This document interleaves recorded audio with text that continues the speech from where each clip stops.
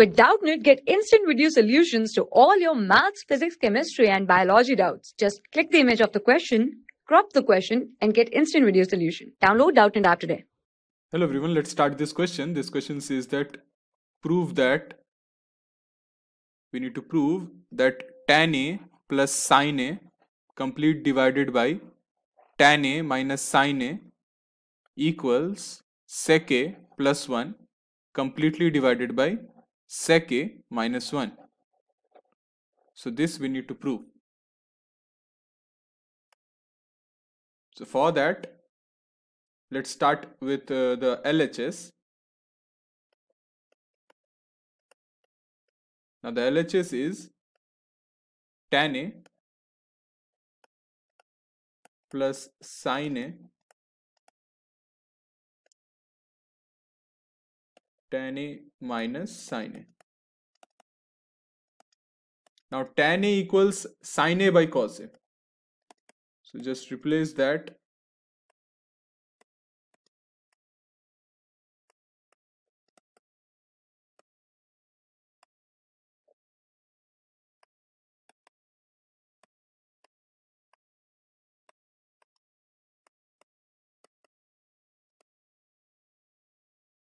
Now, just take out sine A common from the numerator.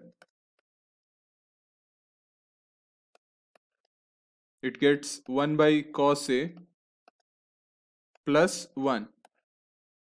And we can do a similar thing for the denominator. Taking out sine A would give us 1 by cos A minus 1. Now the sine A gets cancelled out and we are left with 1 by cos A plus 1 by 1 by cos A minus 1. Now 1 by cos A is nothing but sec A. 1 by cos A is nothing but sec A. So this gives sec A plus 1 by sec A minus 1. So that is the RHS and we have hence proved.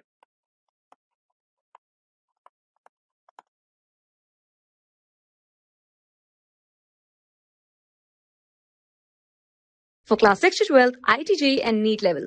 Trusted by more than 5 crore students. Download Doubtnut app today.